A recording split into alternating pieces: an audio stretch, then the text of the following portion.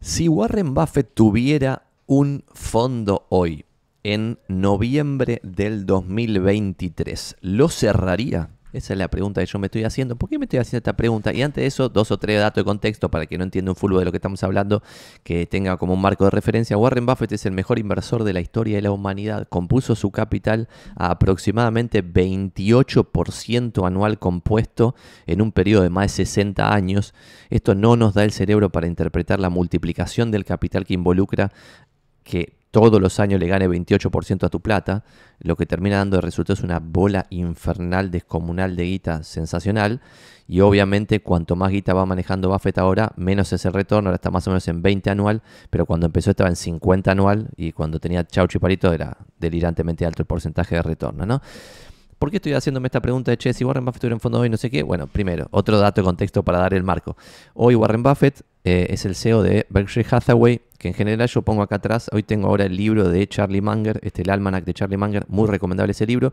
Pero otro de los que ponemos, que no sé dónde está en la biblioteca, creo que no sale en cámara hoy, debe estar más para allá, es uno amarillo que tiene todas las cartas a los inversores de Berkshire Hathaway.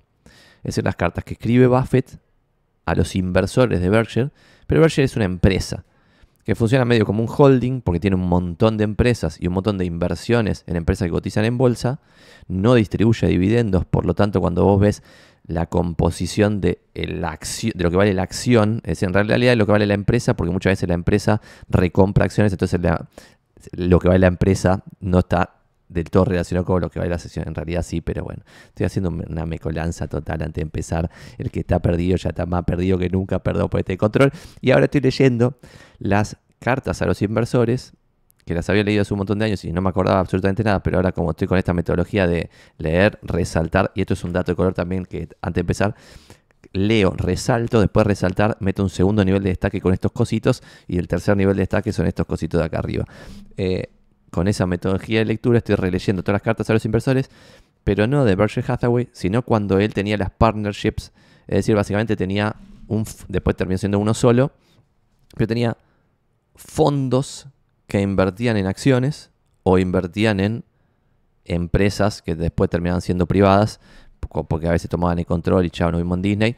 Eh, y la lógica era muy diferente a la que después tuvo en Berkshire Hathaway, pero lo volador de cabeza es que, por ejemplo, la primera carta a los inversores de la cual se tiene disponible, que esto lo pueden googlear tipo Warren Buffett, eh, no sé, Partnerships, Letters to Shareholders, PDF, y le sale estas cartas, ¿está bien?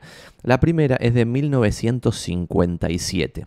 Y acá voy a tratar de dar varios datos de color útiles que a mí me parecen súper voladores de cabeza. Primero, esta carta, que es la carta de lo que pasó en el año 57, es decir, la habrá escrito porque esta justo no tiene fecha, en enero o febrero de 1958. En ese momento Buffett tenía 27 años, 27, es decir, 9 años menos que yo, y ya se notaba lo hiper crack que era por cómo está redactado este contenido.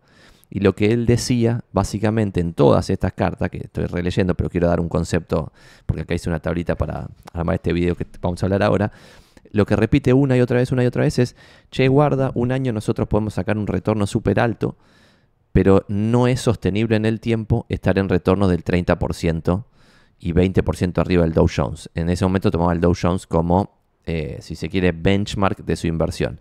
En todas las cartas lo que él hacía, y esto también es una buena sugerencia para alguien que le interesan las inversiones, vos tendrías que tomar un benchmark, siempre usar el mismo benchmark, y que el benchmark sea lo más parecido al mercado en su conjunto. Hoy, por ejemplo, vos podrías tomar el SP como benchmark del mercado. Entonces todos los años comparás lo que vos lograste contra el SP. Y lo que destaca en todas las cartas él, tengamos en cuenta, esta, la primera carta tenía 27 años, es una locura y ya la tenía clarísima. Bueno, lo que destaca en todas las cartas es que es muchísimo mejor perder 10% cuando el Dow Jones perdió 15 que ganar 10 cuando el Dow Jones ganó 35. ¿Está bien? Entonces, no le importa el retorno en términos absolutos, sino que le importa el retorno en términos relativos al mercado en su conjunto. Y el segundo punto que destaca en todas las cartas es que es mucho mejor cubrirse eh, frente a las bajas que ganar más cuando el mercado sube. Y hace la diferencia de que todos los ladris que sigue pasando hoy. Por eso también me resulta esto interesante, porque las primeras cartas son del 57, la última del 70, y el año 1957 fue hace mucho, mucho tiempo. O sea, si hacemos la cuenta juntos, es 2023 menos 1957, hace 66 años se escribió esta primera carta, y todos los conceptos siguen vigentes hoy tal cual, y no solo siguen vigentes, sino que pasa todo lo que el chabón dice como, che, toda la gilada está persiguiendo a las acciones eh, de moda, glamour, bla, que cuando sube el mercado suben más que el mercado, pero lo que termina pasando es que cuando baja el mercado, esas acciones glamour bajan mucho más que el mercado, y la cuenta matemática simple que cualquiera debiera poder hacer de, che, cuando el mercado sube 20, vos subiste 30, después subió 15 el mercado, vos subiste 20, ahí te pensás que sos un semidios de las inversiones, pero después el mercado baja 40% y tu eh, inversión baja 70% en vez de 40%, y después vuelve a subir y vuelve a pasar lo mismo y qué sé yo, cuando haces el compound, el, el interés compuesto de eso, que lo pueden calcular como CAGR si quieren googlear Compound Annual Growth Rate, cuando haces el Compound Annual Growth Rate de todo ese ciclo, llegás a un número de mierda final porque cuando bajó el mercado vos bajaste mucho, y esto se habla bastante, lo de, che, si vos bajás 50%, después para volver al punto inicial tenés que ganar 100%, tenés que duplicar. Entonces, lo que destaca todo el tiempo es, che, cuidémonos frente a las pérdidas. Entonces, también muestra, en el benchmark dice, che, mi benchmark es el Dow Jones. Por otro lado, yo considero que el costo de oportunidad de mis inversores es invertir en estos cuatro fondos y toma dos fondos gigantes que invierten en acciones y dos fondos diversificados gigantes. Y dice, che, estos cuatro fondos son quizá el costo de oportunidad de, quien me dio la guita a mí. Y lo que termina demostrando es que esos fondos en general van levemente por detrás del benchmark y encima lo redacta súper bien para decir no es que son unos inútiles, sino que no, hay, no es que le estoy quitando mérito, sino que no logran igualar el benchmark porque igualar al mercado es muy difícil con mucha, mucha guita que es lo que le pasaba a estos cuatro fondos, que es el costo de oportunidad de la persona que va a invertir en, por ejemplo, en este momento en la partnership de Buffett. ¿Está bien? Entonces, todos estos conceptos son medio falopa, ya lo entiendo, pero al menos quizá les da a alguno más novato eh, términos para googlear y cosas interesantes para investigar. Y lo que yo se me ocurrió es ver, che, porque lo que veía es cómo el discurso al correr de los años, entre 1957 y 1970, iba cambiando eh, en Buffett, ¿no? Y cada vez decía él más, che, esto es insostenible, cada vez todo está más caro, cada vez está más caro, no sé qué, hasta que en 1970 la última carta dice, che, esto no da para más, no encuentro más oportunidades, por lo tanto, como soy una persona de bien, devuelvo la guita y cierro las partnerships. ¿Por qué? Porque no encontramos en dónde poner la guita, porque ya no hay más oportunidades y no voy a cambiar, es lo que dice él, no voy a cambiar mi estilo de inversión, que es el único que en periodo largo de tiempo demostró que funciona, que es la inversión de valor y sigue siendo vigente hoy 66 años después. Bueno, eso menos porque 66 era de cuando comenzaron las partnerships, de 1970 un poco menos. Entonces lo que se me ocurrió hacer, que creo que esto no está en ningún lado, por lo tanto también da para hacer algún libro o un compendio de esto, tipo de otra forma. Y es como poner el contexto previo a cada carta. Entonces, y yo decía, che, ¿y cómo puedo ver el contexto de forma resumida previo a cada carta? Y lo interesante, y gracias por estar ahí compartiendo eh, cosas interesantes del S&P, qué sé yo, y la emisión y no sé cuánto en el chat, está buenísimo. El contexto de cada carta, yo lo que veía es, che, ¿cuál era es un ejemplo, pero ustedes pueden ver el contexto que cada uno quiera, el earnings yield del S&P 500 o del mercado en su conjunto cuando empezaba cada año y cuál era el yield de un bono que existiese en todos los años, ¿no? En ese momento, en 1957, creo, si no me equivoco, si no me corrigen en los comentarios, que no existía el 20-year Treasury Bond, o sea, no existía un bono del Tesoro estadounidense a 20 años, sino que existía el de, el de 10 años. O es el que se consigue la data ahora. Entonces, el bono a 10 años en 1957 tenía un yield de 3,65%. En 1958 de 3,32, en 1959 de 4,33, en 1960 de 4,2, en 1961 de 3,88, en 1962 de 3,95. ¿Está bien? Más o menos es solamente un poco de data de 3, largo o 4 corto. Era el, el, yield de un bono del Tesoro estadounidense a 10 años. Acá lo hemos dicho más de una vez pero el bono del Tesoro estadounidense es lo que se considera inversión libre de riesgo. ¿Está bien? ¿Por qué? Porque Estados Unidos siempre pagó sus deudas. En consecuencia, si vos le prestás guita al tesoro, el tesoro te va a devolver la guita con el interés que hayan pactado. En cada uno de estos años, ese interés era el porcentaje que acabo de decir, ¿verdad? Después, otra cosa que me resulta interesante es, che, ¿y las propiedades cuánto rendían? O sea, si tuviésemos que hacer un rental yield, como dicen los ingleses, creo que los yankees no dicen rental yield, eh, y encontré un paper que está bueno por si lo quiere googlear, y alguien si lo quiere poner en los comentarios también está bueno. Hay un, un paper, un artículo, no sé mierda, que se llama The Rate of Return on Real Estate Long Run Micro Level Evidence. Y lo que termina diciendo el reporte es que el precio de las propiedades, como hemos dicho acá más de una vez, tiende a 1 y lo que termina siendo ganancia es el alquiler, que el alquiler reinvertido logra interés compuesto y ahí sí te acercas un poco al retorno de las acciones en su conjunto, es decir, de las empresas, es decir, del capitalismo en su conjunto. ¿Y cuánto era el earnings yield, es decir, las ganancias de todas las empresas sobre el precio de todas las empresas en cada uno de estos años? Y ahora los comparamos, ¿no? En 1957 era 7,5%, en 1958 8%, en 1959 empezaba a bajar 5,33% y fíjense que en 1959 tenías 5,33 el earnings yield de las empresas y 4,33 el del 10-year Treasury Bond. Entonces acá cuando vos empezás a ver cómo van pasando los años, y son años que en general todos son buenos en este, en este periodo que agarró Buffett de las partnerships, y cómo empieza a bajar el earnings yield de las empresas en conjunto y a subir, después cuando llega el, año 70, el, el, yield de los bonos. Y termina en 1970, cuando se cruzan las dos líneas por primera vez desde que Buffett empieza las partnerships. Ahí Buffett dice, cierro todo y la última carta, no dice esto de que se cruzaron la línea, que yo, pero lo que dice es, cómo debían hacer los inversores de Buffett para comprar bonos.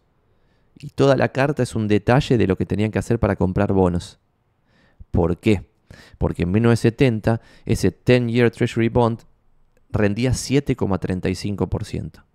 Recuerden que empezó la partnership en 1957 con 3,65, en 1958 3,32 y en 1970, repito, 7,35.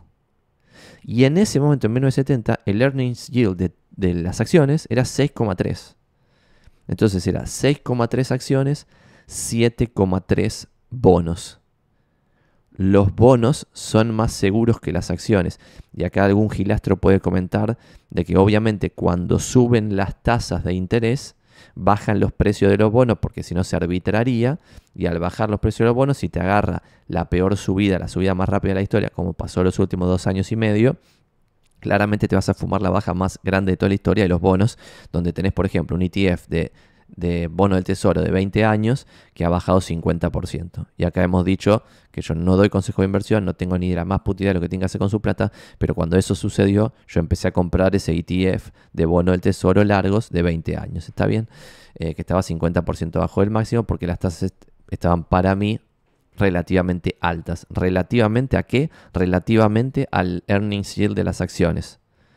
Entonces, como fin de todo esto, es creo que hoy un Buffett similar a Buffett que empezó a los 27 em, con las partnerships y a los 30 y largos o 40, algo así, cerró, la, cerró todo porque dijo, esto ya no tiene sentido lo que estoy haciendo, vayan ustedes queridos inversores, compren bonos y no me necesitan, lo cual es un delirio también si se ponen a pensar y demuestra un carácter zarpado que muy pocos tienen, en general la mayoría son unos ladris impresentables, que lo único que quieren es cobrar ese 1% de los assets under management y no les importa un culo si a los inversores le va bien o le va mal, pero Buffett como dijo, che, ya no tengo dónde encontrar oportunidades que le ganen a la relación riesgo-beneficio de los bonos del tesoro que se van a pagar, anda vos solito y compra bonos del tesoro.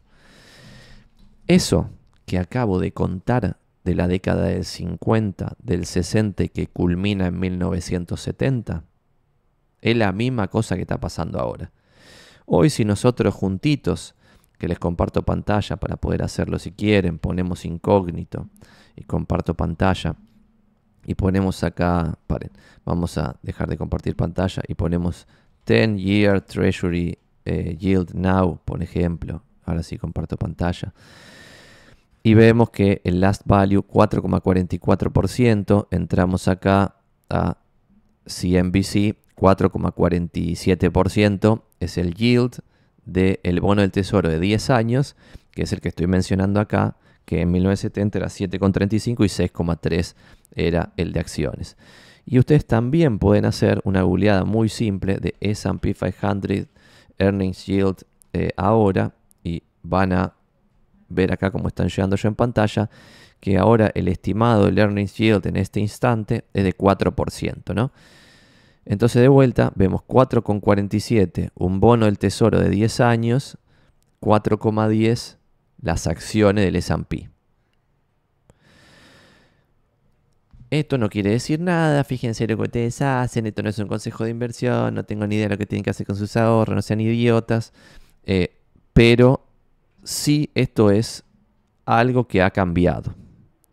Ha cambiado porque si nosotros nos metemos acá, por ejemplo, y vemos la evolución de esto, vemos que en el 2021 era 2 y pico por ciento el, el, yield del S&P, por ejemplo, 2022 4,3, 2023 4,3, ahora 4, pero si vamos a esto, cuando vas a ver si acá tenemos 5 años, vemos que acá en el 2020 era 0 y chirola el yield de un bono, 0 y chirola. 0 y chirola contra 4 y compro acciones y estoy en 4 en vez de 0 en Chirola. 2021, 2 con algo. Bueno, igual ahí era post pandémico, qué sé yo, un de control. Pero 2021 estás acá también, 1 y Chirola. 1 y Chirola contra 2 y 2,78. 2022, 4,33. 2022 ya estás por acá. Estás en 3, 2, 3, 2, 3. En un instante acá 4,2 en el 23 de octubre del 2022, es decir, 4,2, y vamos acá y estaba 4,3. O sea que en el 2022 no se habían cruzado estas líneas tampoco. Pero en el 2023 ahora sí se están cruzando estas líneas donde vos tenés que las empresas en su conjunto rinden 4,03% y acá hay varias cosas locas que es, yo creo que ni importa el, el dividend yield, o sea, el, lo que pagan en dividendo las empresas, que es lo que en general la gente ve porque es lo que te pagan las empresas a vos como propietario, sino lo que ganan las empresas, que son los earnings, sobre lo que valen las empresas, que es este yield que estamos viendo en pantalla, ¿está bien? Porque es como si fueses dueño de toda la empresa. Si yo soy dueño de todo Berkshire Hathaway, el earnings yield es X, listo, eso es lo que me importa.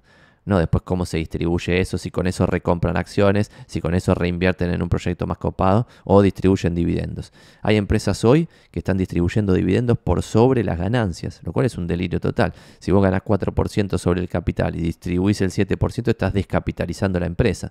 Entonces eso solo tendría sentido en una empresa que no vale nada y que vas a sacarle todo lo que puedas hasta que después no valga nada y ahí, bueno, tiene algo de sentido. Pero si no, es una ridiculez total. Entonces, Long story short, que esto haya cambiado es lo que hizo que yo nunca consideré que iba a invertir en bonos, porque siempre me pareció una pedorrada total, porque todos los años que yo viví fueron de tasa cero o casi cero, como persona adulta que podía invertir una moneda, pero ahora en el 2023 eso cambió. Y si volviésemos a un panorama ridículo de tasas casi cero y el Banco Central haciendo imprimiendo billetes, el yankee, ¿no? Colocándoselos a los boludos del tercer mundo, como acá, que los absorbemos y les resolvemos problemas inflacionarios que se no tendrían si no pudiesen exportar toda la guita. Bueno, ahí no me molesta tampoco, porque lo que pasaría en ese escenario es que bajaría la tasa y subiría el precio de los bonos, que es lo que pasó ayer y acá hay un último concepto final que también está en estas cartas que los invito a leer, leanlas ustedes solos y después me comentan lo que les parece en los comentarios. Y el concepto final es el que yo justo hablaba ayer con uno de, los de la gente acá, que es, che, loco, eh, ¿no estás contento que vos empezaste a comprar, por ejemplo, TLT, que es un ETF de bonos, y ahora eso sube 2,5% en un día? Y mi respuesta ahí que está basado en la gente inteligente, porque esto, de vuelta, yo no me da tanto el bocho, pero puedo leer estas cartas de los años 50 y extrapolar lo que pasaba en los 50 con lo que pasa ahora y sacar alguna conclusión de cómo pensaba Buffett cuando era un pinche o era millonario pero humilde, o sea, tenía, no sé, un palito verde que hoy serían cinco palitos o algo así, eh, era algo más cercano a lo que puedo ser yo hoy. Entonces, puedo ver cómo pensaba ese Buffett y decir, che, me tomo ese conocimiento. ¿Cuál es ese conocimiento específico del cual estoy hablando? Que si yo estoy en periodo de compra, es decir, si yo tengo capacidad de ahorro hoy y ese ahorro quiero invertirlo en algo, lo que debiera querer, si soy una persona racional como intento ser, es que ese algo no suba de precio. Inclusive querría que baje de precio. ¿Está bien? Así puedo comprar más bonos. Porque los estoy acumulando. Y después lo que debiera querer es que suban de precio, es decir, que baje la tasa y suba el precio del bono, o que me vayan pagando, lo que fuese, cuando estoy en periodo de uso de esa plata. Por ejemplo, cuando estás jubilado, o en una malaria donde no tenés capacidad de ahorro, o en una malaria fulminante donde, no sé, si vos sos empresario, tu empresa pierde guita, necesitas cubrir esa pérdida de la empresa, de algún lado tiene que salir la guita, bueno, te conviene que, es, que, en ese, que ese momento sea cuando ese bono vale más plata, es decir, cuando bajó la tasa y subió el bono. Pero si yo estoy en periodo de compra, no me conviene que ayer anuncien que ahora van a bajar la tasa o lo que mierda sea, me conviene que todo el tiempo estén diciendo sube la tasa. Eh, pero si ya está alta y ya bajó la inflación, ayer lo que pasó es eso. Salió un dato inflacionario muy positivo, entonces el mercado ya cuenta que vamos a ir a un escenario de long term baja de tasas. ¿Eso qué va a pasar? No tengo ni la más pálida idea de lo que va a pasar. Pero hemos dicho acá también alguna vez, y también es interesante, que vos tenés el promedio y la mediana entre 3, 4, 4 y moneditas en periodos muy, muy largos de tiempo, donde tenés distintos niveles inflacionarios. En consecuencia, cuando vos tenés una tasa, cuando tenés un yield del 5% anual para un bono del tesoro que es libre de riesgo, está muy bien porque está por arriba del promedio y la mediana de largo plazo y de distintos periodos y de distintos escenarios que pasaban distintas cosas. Y obviamente hay un libro que está bueno también que se llama This Time is Different y es como, obviamente siempre todo cambia, pero con el verso de que todo cambia todo el tiempo, nadie aprende, o sea, nadie estoy exagerando, muy poca gente aprende de la historia. Y en realidad un montón de cosas que dicen estas cartas de hace sesenta y pico de años pasan casi literal ahora, o sea, casi copy-paste. En consecuencia hay un montón de cosas que se pueden aprender de eso y sin embargo estamos leyendo libros faloperos de lo que pasó hace dos minutos, pensando que lo último que pasó es lo que se va a repetir, cuando en realidad el fenómeno que más se repite, si se quiere, es la regresión a la media. Y es por, es, por ejemplo, lo que decimos acá sobre Argentina, mi última esperanza de la Argentina, que es, che, hoy estamos en salarios de 500 dólares, como se dijo en el debate, el promedio, el RIPTE, en los 90 era 800, 900 dólares, que equivalen hoy a 1.800 dólares por mes. De los 90 a 1.800 dólares por mes, ahora estamos en 500 dólares por mes de salario promedio del RIPTE. Esto puede ser explicado por muchas razones. Por ejemplo, una razón puede ser gran parte se fue al laburo en negro, por lo tanto el RIPTE ya se desmadró, no representa la realidad y puede ser que el promedio sea un poquito más alto, por lo tanto puede ser que la situación no sea totalmente desmadrada, pues se justifíquelo como quieran, pero que un país en 30 años haya pasado de 1800 a 500, a mí lo que me indica no es que vamos a hacer Zimbabue, sino con respeto de Zimbabue, pero por el descalabro macroeconómico que históricamente han representado, siendo el país más inflacionario de la historia de la humanidad, bueno, si vamos hacia ahí, no la veo, porque la que, la que veo es la regresión a la media. ¿Cuál es esa media en salarios en Argentina? 1.100 dólares por mes.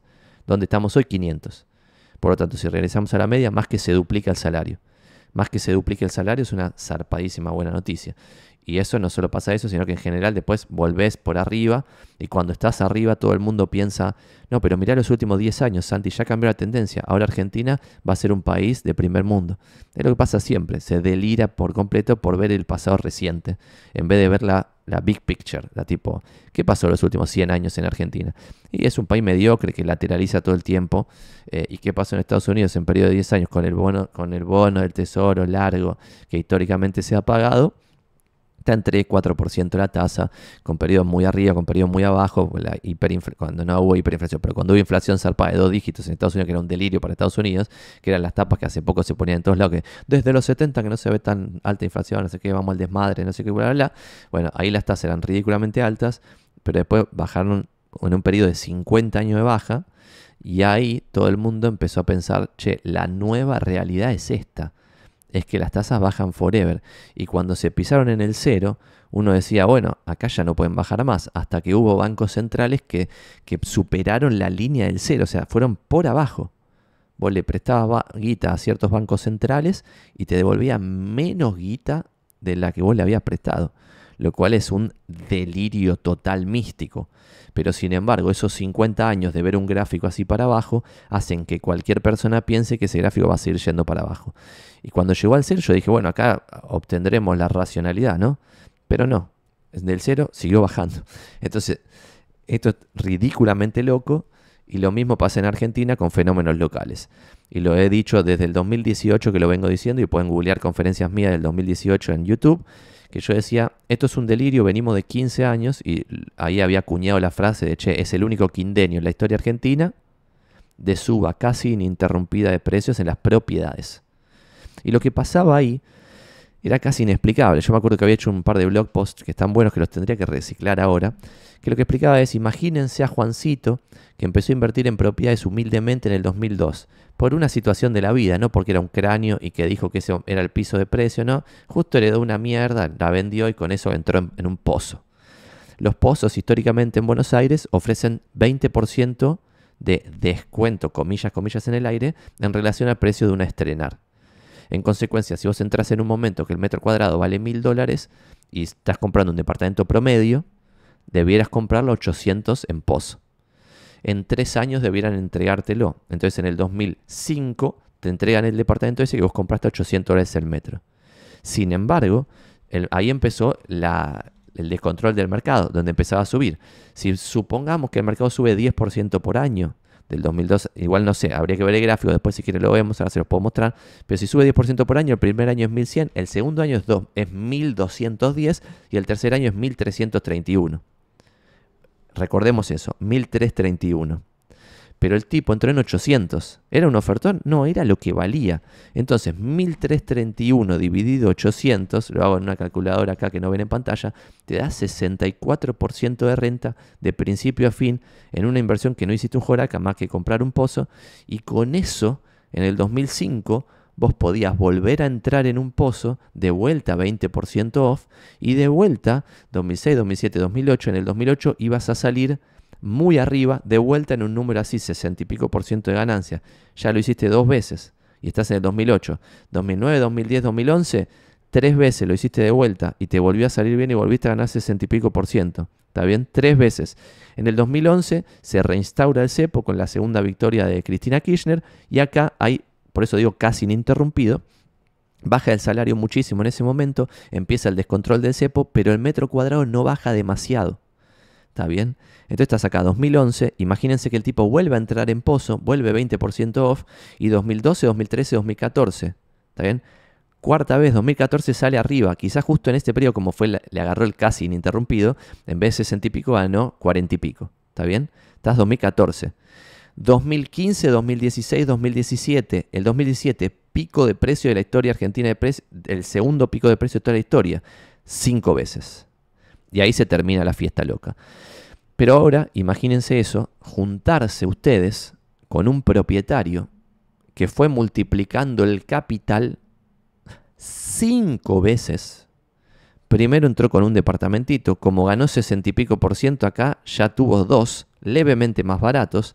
Como ganó 60 y pico por ciento, acá tuvo cuatro, acá tuvo ocho y acá tuvo 16. La persona que agarró el quindenio de suba de precios casi ininterrumpida de las propiedades en Argentina, empezó con una propiedad en Pozo y terminó con 16. ¿Está bien?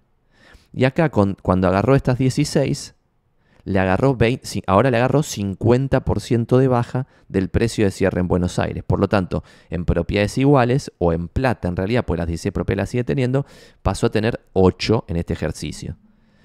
El problema acá es cómo se le explica a una persona que por 15 años hizo un negocio que le funcionó bien, que no es un genio de las inversiones, que no es Warren Buffett, que no es Charlie Munger, que no es Peter Lynch, sino que es un gilastro con suerte que agarró el único quindenio de la historia argentina en la cual las propiedades subieron de precio. Y que ahora, si no logra proteger el ahorro que por suerte construyó, lo va a dilapidar, porque de vuelta es el ejemplo de las cartas de Buffett. en periodos en los cuales un mercado baja 50%, algún boludo baja 60-70% porque no se protegió. En cambio, el que se protegió baja 30%. Si esa persona baja 30 y después vuelve a continuar con ese, con esa reinversión, reinversión, reinversión, long term, long term, long term, en vez de sacar, reinvertir, reinvertir, reinvertir, va a seguir teniendo cada vez más propiedades, cada vez más capital y le va a ir bien. ¿Está bien? Este ejemplo de los 15 años de 5 pozos no involucra alquilar ninguna propiedad nunca ningún riesgo de un Joraca más que el riesgo de la construcción de todos estos edificios, que al principio es ridículamente alto, pero cuando ya tiene dos, la persona puede diversificar en dos barrios, dos desarrolladoras, dos productos totalmente distintos. Cuando tiene cuatro, cuatro desarrolladoras, cuatro barrios, cuatro productos distintos, 8 y 16. Con 16 ya lo que terminás acá fumándote es el riesgo argentino del sector tipo real estate y de la ciudad autónoma de Buenos Aires, si lo hiciste todo en Buenos Aires. Pero ya estás diversificado dentro de lo posible en esas tres cosas que no diversificaste. ¿Está bien? Entonces, eso pasa también en acciones, pasa en bonos y la gente toma decisiones en general nefastas, que es ver en los últimos años y sacar conclusiones en base a esos últimos años. Y esos últimos años pueden ser periodos muy largos. Estos 15 años son mucho tiempo, ¿eh? Es mucho, mucho tiempo. Porque imagínense que en, estas cinco, en estos cinco eh, juegos de pozo, el inversor ese, que es una caricatura, pero existe en la vida real, ese Juan Carlos inversor en pozo, ese Juan Carlos inversor en pozo, el primero medio que no se pensaba que era un genio, en la segunda se empezó a pensar levemente, mira qué pillín que soy, ahora voy a tener cuatro departamentos, y después, cuando este pasó de cuatro a ocho departamentos, acá ya le decía a la gente lo que tenía que hacer, ya cuando se cruzaba con cualquier persona sin conocer la situación de esa persona, le mandaba a comprar pozo de tal manera, se hacía el semidios de la inversión en pozo, y, ni, y cuando ya tenía, 10, o sea, como habíamos dicho, 1, 2, 4, 8, 16, cuando ya tenía 16 departamentos y lo había hecho por él mismo, porque es verdad, ya está, ahí ya no era semidios, era el dios de las inversiones en pozo, nadie le podía explicar nada a esa persona, sino que esa persona le explicaba a todo el mundo cómo tenían que ser las cosas, entonces ni en pedo te leía una carta a los inversores de Buffett, ese individuo, o las cartas a lo que sea de Constantini, en ese caso el rey verdadero del real estate, para aprender algo de cómo piensa Constantini, para ver, tipo, ver una entrevista de Constantini y ver, tipo, che, ¿qué está pensando este chabón? ¿Cómo, ¿Cómo se imagina el mundo? ¿Cómo piensa? Y tratar de tomar algo de Constantini y aprender. Ya a ese punto, con los 16 departamentos, estaba totalmente cerrado el aprendizaje. Y esa es la semilla de la desgracia, porque ahí probablemente pierda gran parte de los 16 departamentos. Yo creo, y esto es total fruta porque no sabemos eh, qué pasaría si hoy Buffett tuviese unas partnerships, que en este contexto cerraría las partnerships. Y para terminar el video, cuento una cosita más que vi en las, cartas que me pareció interesante, y es el concepto de, no asset allocation de Buffett. Lo que dicen estas cartas básicamente es que tiene tres tipos de empresas en las cuales invierten, que son lo que llamaban generals, que es como inversión en bolsa de, acciones subvaluadas, es decir, que se creía que tenían más valor eh, intrínseco que el precio. Esas son las generals para él. La segunda categoría o el segundo bucket eran los turnarounds, creo que le llama, que son tipo un spin-off o cosas así, donde hay algún valor que por esa situación se va a destrabar. Por ejemplo, va a cambiar el SEO y cuando cambie el SEO va a tener dos dedos de frente y va a hacer las cosas bien y va a destrabar una situación de valor que no estaba explotada. Y el, y el tercer bucket, o sea, la tercera canasta de inversiones, era cuál era la de turnarounds Generals. Ah, y las de tomar control. Las terceras de tomar control es las que agarraban y compraban tantas acciones que pasaban a ser accionistas mayoritarios y podían poner el CEO ellos y hacer lo que querían con la empresa básicamente. Esas tres, lo que a mí resultó curioso es en vez de pensar con el criterio que piensa la mayor parte de la gente, la gilada, lo que yo digo la gilada, ¿y por qué digo la gilada? Porque cuando vos analizás la data de cómo le va al inversor promedio en, de, acciones o de cualquier eh, asset class, lo que termina pasando es que ese inversor promedio es mucho peor que el mercado en su conjunto en el cual está operando, que el benchmark. Es decir, si el S&P 500 rinde 10% en periodos largos de tiempo, en periodos largos de tiempo el inversor promedio rinde 3%. Esto está bueno y googleenlo. Inversor promedio contra el S&P. pierden casi todos los periodos largos de tiempo.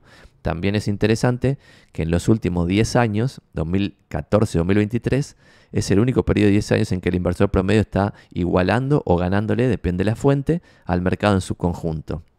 Imagínense ustedes, la parte de la audiencia que es viva, lo que pasa después de eso. Imagínenselo ustedes. Bueno, entonces lo que dice Buffett de esto de las tres buckets y cómo alocar en, los distintos tipos de empresas es que no lo piensa como piensa la gilada de un tercio, un tercio, un tercio, o 50, 25, 25, o lo que sea, el porcentaje que sea. Sino que eso se da en base a las oportunidades. Y ese es otro concepto que yo también saco de eh, Buffett, que es, che, si hoy veo los bonos baratos, compro bonos. Si hoy veo las propiedades en Buenos Aires baratas, compro propiedades en Buenos Aires. Si mañana veo a las acciones del S&P baratas, compro acciones del S&P. Si hoy veo cierta empresa particular de Estados Unidos barata, compro esa empresa de Estados Unidos. Si hoy veo que las empresas chinas están baratas, compro las empresas chinas. Y esto es medio loco, porque si tomo las decisiones de esa forma, es decir, comprándolo barato y también es interesante que un montón de gente ni siquiera coincide en que en finanzas puede haber cosas que se denominen baratas y que otras que se denominen caras, lo cual me parece una ridícula a nivel Dios, pero es espectacular y está todo bien. Eh, bueno, dado eso, vos debieras todo el tiempo ir comprándolo barato, pero ese barato va cambiando a lo largo del tiempo. En consecuencia, la composición de tu cartera de inversiones va cambiando. No sé si se entiende esto. Es decir, yo puedo pensar en abstracto como hemos hecho en algún video, pues estos son pensamientos, no son recomendación de inversión.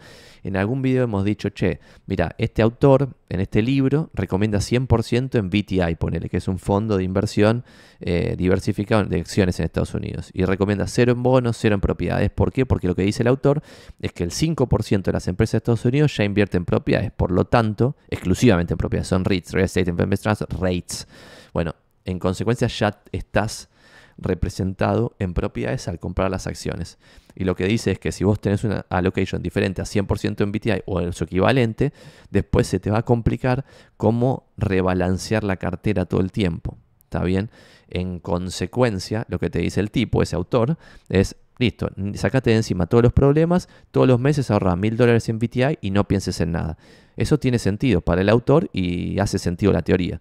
Después otros autores te dicen, che, una cartera diversificada tan solo con 80 acciones, 20 bonos, le gana en periodos largos de tiempo a una 100% en acciones. ¿Por qué? Y porque si sumás no sé qué, la, la, la, la, la coche. Bueno, dudoso ahí ya los números porque depende cómo agarre ese periodo, cómo te da el número final. Pero es lo que dicen algunas teorías, ¿está bien? Porque, y otra es la relación riesgo-beneficio, te conviene, y ahí estoy de acuerdo, 80-20 eh, que 100% acciones. Otro nivel 2 es, che, no debieras estar todo en Estados Unidos porque hay veces que Estados Unidos está eh, caro y por ejemplo Europa o los países emergentes están baratos, como hoy más o menos pasa. No sé si eh, los países emergentes y China y, Europa están baratos, pero sí están más baratos que Estados Unidos, eso sí se puede decir. Pues si ves el price of earnings de los distintos países, vas a ver que el price of earnings de Estados Unidos es mucho más alto que el de Alemania, Inglaterra, España, Portugal o China.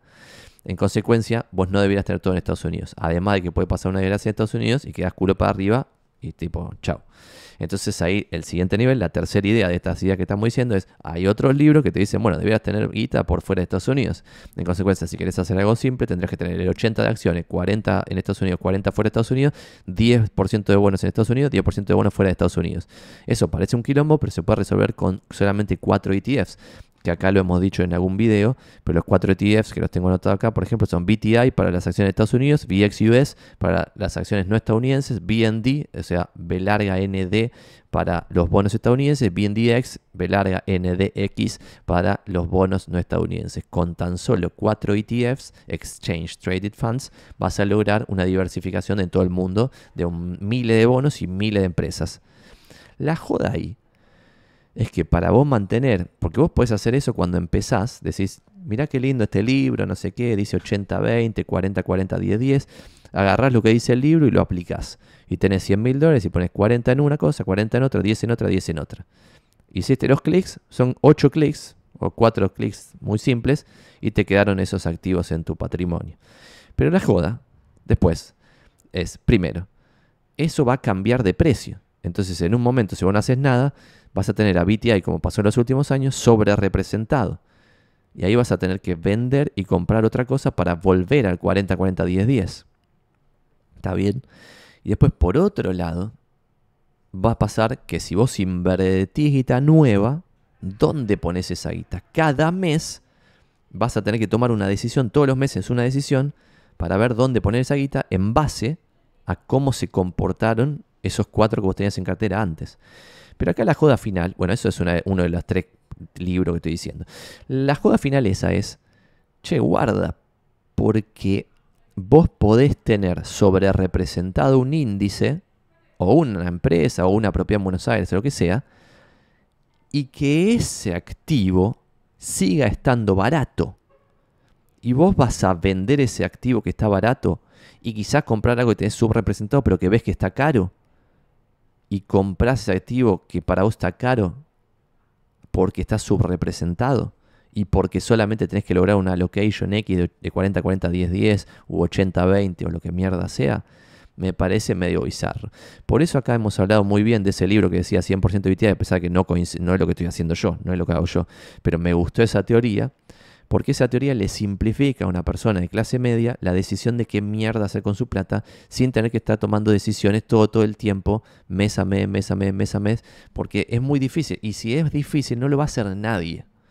En cambio, si lo único que tenés que hacer es primero poner una regla automática, por ejemplo, que de tu cuenta bancaria vaya a tu broker esos mil dólares por mes sí o sí todos los meses. Y eso lo puedes poner automático, no te que hacer nada. Y segundo, en tu broker vos podés poner que todos los meses, en tal fecha, se compra BTI sin que vos hagas nada. ¿Está bien? Esté al precio que esté. ¿Vas a comprar caro? Y sí, algún mes vas a comprar caro. Algún año entero quizás vas a comprar caro. Tres años enteros quizás compras caro. Pero si lo haces todos los meses por décadas, todo tu periodo de ahorro productivo, vas a terminar agarrando los periodos caros y baratos y todos los periodos. Y vas a terminar con una bola de guita. Si, si pusiste dos reglas de reinversión de todo. ¿Está bien? En cambio, cuando vos le metes ya el concepto de asset allocation a una persona de clase media que no le interesan demasiado las inversiones, ya lo complicás, aunque sea tan pero tan simple como cuatro ETFs, porque ya depende del asset allocation. Entonces, mi nueva teoría, que es la que tengo ahora y que también me gusta, porque una vez lo vimos en un video, y ahora esta nueva teoría mía me permite accionar en la vida real como layers, como si fuese un sándwich de inversiones. Es decir, yo veo una propiedad en Recoleta barata, la compro, es mi jamoncito del sándwich. Después veo los bonos baratos, como dijimos hace, hace un mes o un mes y medio, no sé cuándo empecé, dos meses, no, tres, no sé cuándo empecé a comprar. El quesito es, no sé, TLT, un ETF de bonos largos de Estados Unidos. Después el salamino, la mortadela, el sándwich es otra propiedad en Palermo que compra un pedazo a través de un crédito a un amigo, y mi amigo se que lo refacciona, y si va bien me va a dar targuita por el mutuo que firmamos, lo que sea, listo. Es mi, mortadela. Después el, plato fuerte, la milanga, es, son cuatro ETFs que van a representar el 50% de no sé qué. Bla. Y esos ETFs los voy comprando cuando los veo baratos. ¿Está bien? Y de esa forma a mí me funciona porque siento que está alineado con una inversión de valor. Es decir, exclusivamente comprar lo que está barato cuando está barato, sin preocuparme demasiado de cómo termina eh, siendo mi, mi torta de alocación del capital. Que es algo que anteriormente me preocupaba más. Yo pensaba, che, loco, voy a agarrar y poner tal porcentaje en tal cosa, tal porcentaje en tal cosa, tal porcentaje en tal cosa. Inclusive hace dos años, si ven algún video acá, yo tenía teoría hace dos años de 50% en Argentina, preferentemente en propiedades. Porque es lo que conozco y es donde puedo tener un edge, donde puedo tener una ventaja frente al mercado general, y 50% en Estados Unidos en acciones exclusivamente. Eso con el correr del tiempo fue cambiando mucho. Por ejemplo, el año pasado, o hace un año y medio, dos años, hablamos en este canal también de, che, miren qué barato que está la mervaleta, voy a comprar todo lo que existe. Compré todo, todo, todo lo que existe. Ahora ya todo eso, ya todo lo vendí a la mierda, porque ya en su momento me dio un... El compound annual growth rate que tenía en un momento estaba por arriba del 100% en dólares verdaderos. Esto es una locura total. Cuando no sé en qué número terminó, mucho menos, pero ya salí de todo y de todo lo que compré, compré todo lo que cotizaba. O sea, inventé como si fuese un equally weighted, un ETF equally weighted de toda la mervaleta sin analizar cada empresa. ¿Qué terminó pasando? Solamente una dejó de cotizar en bolsa y andás, ahora obviamente como no es que quebró, sino que dejó de cotizar en bolsa, me quedaron esas acciones ahí y chao, listo, no sé, me quedaron esa monedita ahí en esa, esa empresa que no puedo hacer un carajo, pero todo el resto lo, lo pude vender todo. Y volví a propiedades con eso. Y después por otro lado, lo de los ETFs de, Estados Unidos y que yo, las empresas en particulares, mantuve todas las empresas que tenía hace un montón de años, que hay videos también de acá hace tres años que yo estaba diciendo, che, mira, hoy tengo Alibaba, Berkshire Hathaway, Daily Journal, Vine Therapeutics, eh, Growth Properties, creo que son cinco las únicas que tengo. Esas las tengo hace un montón de años, las sigo teniendo. Algunas son una calamidad deplorable, el retorno que me están dando, pero, por ejemplo, Vine casi quiebra, ya casi no queda nada fue una mala decisión, ya está listo, queda ahí, ya está listo. Eh, en vez de estar repensando todo, todo el tiempo, lo que hago es agregar cosas en vez de repensar las decisiones ya tomadas. Entonces esas cinco las dejé ahí. Pero no es que sumé VTI o sumé VXUS o sumé BND o sumé BND. Que sumé TLT, por ejemplo. Ya no tengo más el Merval. Propiedad, listo, ya está, listo. Y son cosas que se pueden tomar la decisión en base a lo que está pasando ahora, sin predecir el futuro. Es decir, no trato de decir, che, ¿qué garcha va a pasar ahora de acá para adelante? No tengo ni la más pálida idea. Y ese es el último concepto de estas cartas, de las partnerships, de cuando tenía veintipico de años, Buffett, capo total. Lo que decía básicamente es, nunca tengo ni idea de lo que va a pasar en el corto plazo, pero en el largo plazo sí sé que va a venir en el, mediano plazo algún año, que no sé cuál va a ser, donde va a bajar 30% la bolsa, yo sé que en 50 años va a venir un año que va a bajar 50% la bolsa, que fue por ejemplo 1930 y pico, fue el 2008, después bajó casi, esto lo, hemos visto acá, hay un informe que está copado, pero hace mucho que no lo vemos, así que podemos volver sobre este glorioso Guide to the Markets de JP Morgan, que lo muestro en pantalla.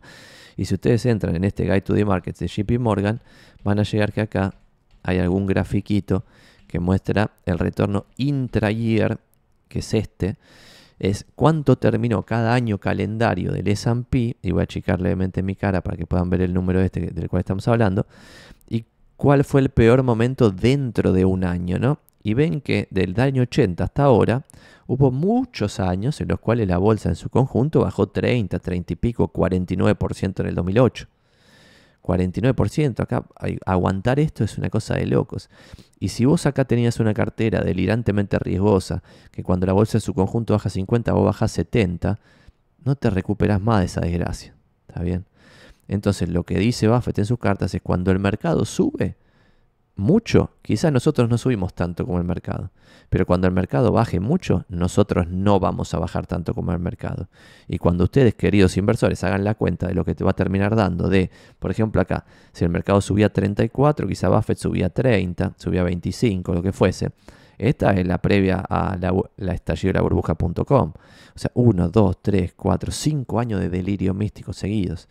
Y acá imagínense que en el tercer año del delirio, con 34 un año, 20 otro año, 31 otro año, acá una persona racional quizá veía acá tipo el price over earnings de las empresas, porque no puede saber si algo está barato o caro en base a lo que subió o bajó en los últimos periodos, pero sí en base a métricas como el price over earnings.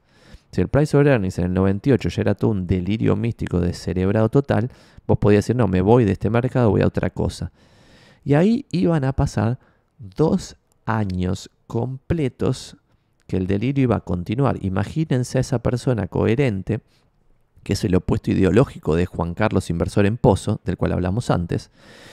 Ese mengano racional, coherente, se va del mercado y desde la side, desde, afuera, desde el costadel y de la cancha, está viendo que un año sube 27% del mercado y al año siguiente 20%. Imagínense en el, en el mes 24, cómo lo gastan todos los amigos a esta persona diciéndole vos sos un gil, no entendés nada del mercado. Y por el otro lado, a Juan Carlos, inversor en Pozo, que no entendía nada del mercado de verdad, pero ganaba guita sin parar por 15 años, todos le decían, eh, este chaval es un cráneo, mira cómo la ve, mira cómo la ve Juan Carlos. Y era un pelotudo. Eh, en consecuencia, esto es súper interesante. Eh, me parece a mí súper útil leer las cartas a los inversores de las partnerships de Buffett para cualquier persona que quiera ser empresario, que quiera ser inversor, que en Argentina es medio raro, pero hay algunos perfiles, o que quiera maximizar la probabilidad de que sus ahorros se multipliquen a una tasa de retorno más alta que la tasa del mercado. ¿Está bien? De vuelta, último concepto que no sé si dijimos, Buffett en estas cartas, otro concepto interesante que dice es que no pretende nunca estar más de 10% arriba en periodo largo de tiempo que el Dow Jones, que era para él el mercado en ese momento, el benchmark general del mercado. Hoy sería, si hubiese un Buffett, que no lo soy yo y nadie de nosotros probablemente lo sea, porque es un fuera de serie mal, el máximo fuera de serie sacó 10% arriba del mercado. Y esto que lo escribe a los 20 y pico de años, es lo que terminó pasando. Ahora, con 90 y pico de años, cuando vos ves el retorno de Warren Buffett, ves que los primeros años tuvo un retorno delirante. Y los primeros años es hasta cuando era un pendejito, ¿eh? porque cuando él tenía, no sé, 15 años ya estaba haciendo negocitos, más de la vida real, no en acciones, y esos negocitos de la vida real ya multiplicaban el capital zarpado. Cuando estaba en el high school tenía una granja el chabón. O sea, es un fuera de serie. Compró una granja y puso un chango granjero a trabajarle la granja. ¿Está bien? Eso estaba en la secundaria el chabón. Eh, obviamente era de una familia de clase media alta, acomodada, pero no era millonaria la familia, ¿está bien? No es que tenía millones para comprar la granja. Llegó a la granja primero comprando unas maquinitas que se alquilaba negocio, después juntando pelotitas de golf alrededor de una cancha de golf y vendiendo las pelotitas de golf, y así mil millones de curros, cantidad de, pequeños curritos, negocios chiquititos, para juntar guita para hacer negocio más o menos de verdad. Entonces el nivel de fuera de serie es zarpado. Y un fuera de serie así lo que dice es que lo máximo que se puede aspirar es estar 10% arriba del índice, del benchmark. Entonces si el S&P rinde 10% bruto ante impuestos de inflación en periodo largo del tiempo, si vos fueses Buffett, lograrías 20% anual en, periodo largo de tiempo ante impuestos de inflación.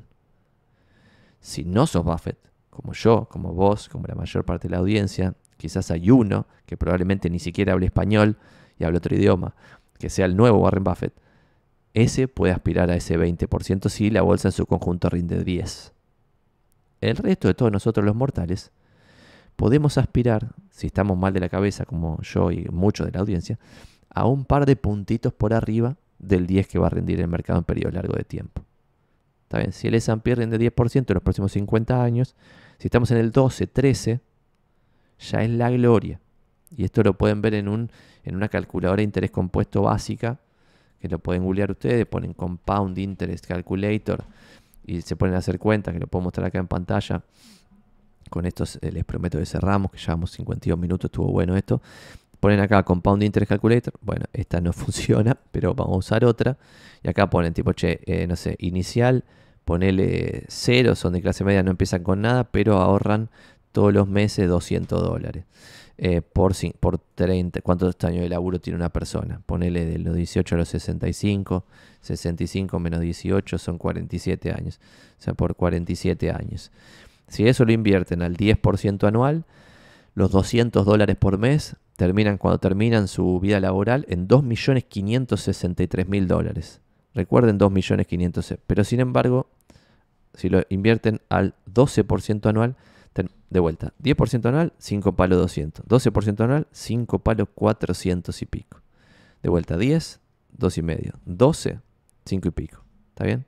O sea, es más del doble, solamente 20% por arriba del el índice de comparación. Entonces esto es realmente una locura y estos son 200 dólares por mes. O sea, esto, si ustedes lo cambian a toda su vida laboral a 2.000 dólares por mes, al 12% anual, 54 palos. 2.000 dólares por mes. No es una locura. Pero ponele que ustedes eh, tienen mi edad, 36 años, y dicen, che, bueno, yo ya tengo 36, Santi, tengo 29 años, no tengo 47. Y bueno, todo cambia. Se va al carajo esto. Ponganemos 29 y te da de 2.000 dólares por mes al 12%, 6 palos 100. Pero al 10, 4 palos, 4, palos algo.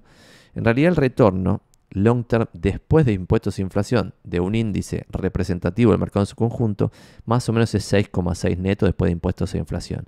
Entonces, invirtiendo 2.000 dólares por mes por 29 años, de los 36 a los 65, terminás con 2 palos 100 verdaderos de hoy, después de impuestos e inflación. Entonces, si en vez de 6.6 aspirás a 8.6, terminás en 3 palos 70, o sea, 3 palos 100. Entonces, de vuelta, 2 palos contra 3 palos 100 es 2 puntitos por arriba del mercado. Ponele que estás en 12 en vez de 10, pero lográs que después de impuestos e inflación sea 8,6 en vez de 6,6. La diferencia es esta que estamos viendo en pantalla. 2 versus 3, redondeando, ¿no? O sea, porque este es 2 y chirola y este es 3 y chirola. ¿Está bien? Dos puntitos brutos más, que se conviertan en dos puntitos netos más, son 50% más en este ejemplo de 29 años. Eso también está, y no quiero ser el, concepto número 14, la carta de Buffett, no quiero seguir metiendo, pero también mete en el medio de las cartas casi todos los años un ejemplito de esto. De che, ¿qué pasa si invertimos a tal porcentaje, a tal porcentaje, a tal porcentaje en periodo largo de tiempo? La bomba atómica. Y también ahí no pone como ejemplo el porcentaje que está ganando esos años, que es delirante, tipo 30% anual, un delirio, porque justamente dice que no va a poder replicar ese resultado en el futuro. En un grado de humildad zarpado, que es lo que además pasó. Que es lo que les dije recién, cuando era pendejito en el secundario y los primeros años de los 20, multiplicaba el capital de forma descontrolada. Después cuando tenía 20 y pico, que ya tenía estas partnerships, multiplicaba el 30 anual, que es un delirio. Y cuando cerró las partnerships y pasó a Berkshire Hathaway, tenés como hace 60 años de Berkshire Hathaway al 20% anual en vez del 10% del mercado. Por lo tanto, terminó pasando eso que predijo en sus propias cartas hace 66 años. ¿Está bien? Y tiene un valor zarpado y acá con esto liquidamos de verdad. Me parece que es mucho más útil ponerse a leer historia de las inversiones o historia económica de los países en vez de ver lo que está pasando ahora. A pesar de que obviamente es muchísimo más divertido ver lo que está pasando ahora, me parece ridículamente más útil ver lo que pasó en el pasado y tratar de ver en qué se va a parecer el futuro al pasado o en qué se parece hoy el presente al pasado, en vez de tratar de mandar fruta por completo en base a los últimos años y por eso acá siempre tenemos ahí la bola de cristal para boludear a los que vienen a preguntarnos qué va a pasar el, mes que viene con las propiedades en Buenos Aires. ¿Qué carajo sé? No tengo ni la más pálida idea. Lo único que sé es que están baratas. Eh, bueno, eso es todo. Si esto lo están viendo en YouTube, que vimos la vez pasada, más del 50%, ya ni siquiera el 50, el 50 y pico por ciento de los que ven estos videos no está suscrito. Así que si llegaste al minuto 56 de este video con el cual estamos, por favor, like y suscribirse y pasáselo a alguien de clase media alta que esté ahorrando y esté prendiendo fuego la guita mal invertida, así aprende algo y toma sus propias decisiones con coherencia. Vamos carajo.